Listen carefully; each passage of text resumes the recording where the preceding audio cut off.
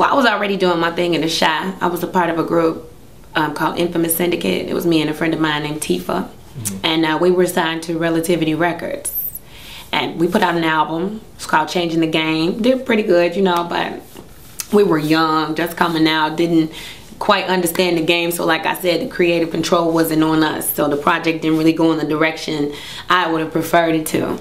But at that time, we were constantly on the road, on tours, Lyricist Lounge. I mean, whoever we could jump on the road with, we did. So going through Atlanta, um, Luda was doing radio at the time. He was Chris Lova Lova mm -hmm. down there on, um, I think, Atlanta's Hot, whatever it was. And uh, when we met, we kind of gelled. You know what I'm saying? He let me know that he was working on a project, and I let him hear some of my other music. And um, he fell in love with the fast, the fast rapping joints that I had. So, you know, we had a common bond with that. And he was like, yo, I'm gonna fly you back down here. I got a joint I need you to get on. And, um, you know, of course, that's like industry talk most of the time. Everybody, yeah, I wanna do this, I wanna do that. So, not to say I brushed it off, but I just didn't believe that he would do it.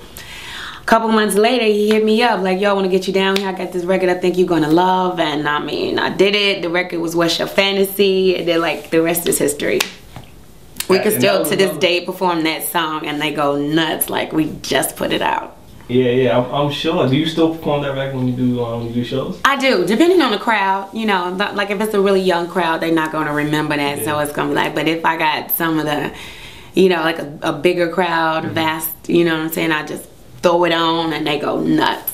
Yeah, that that was another one where it was just like at that time that record was just everywhere. Yeah, it was perfect, perfect timing, the look, everything, the attitude of the record was just it was awesome.